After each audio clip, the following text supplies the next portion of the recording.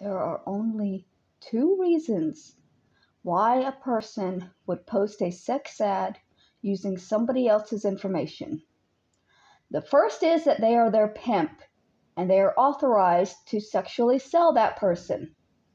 The second option is that they are t- uh, trying to sell that person against that person's wishes, which is sex trafficking, it's sexual assault, it's rape. Adonis Paul is continuously posting sexual ads using my name, my face, and my general location, and he has my specific location to send to men who contact him about that. I do not feel safe. And the fact that so many people don't understand what's wrong with the situation is a big part of why I don't feel safe. He is not my pimp. He is not authorized to sell me sexually to anybody.